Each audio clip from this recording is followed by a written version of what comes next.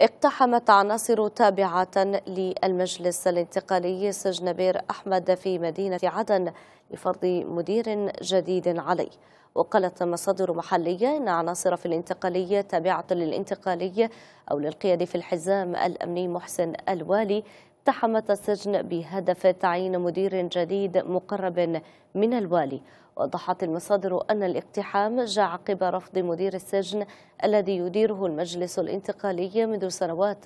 تغييره بشأن أو بشخص آخر مشيرة إلى وجود صراع أجنحة بين قيادات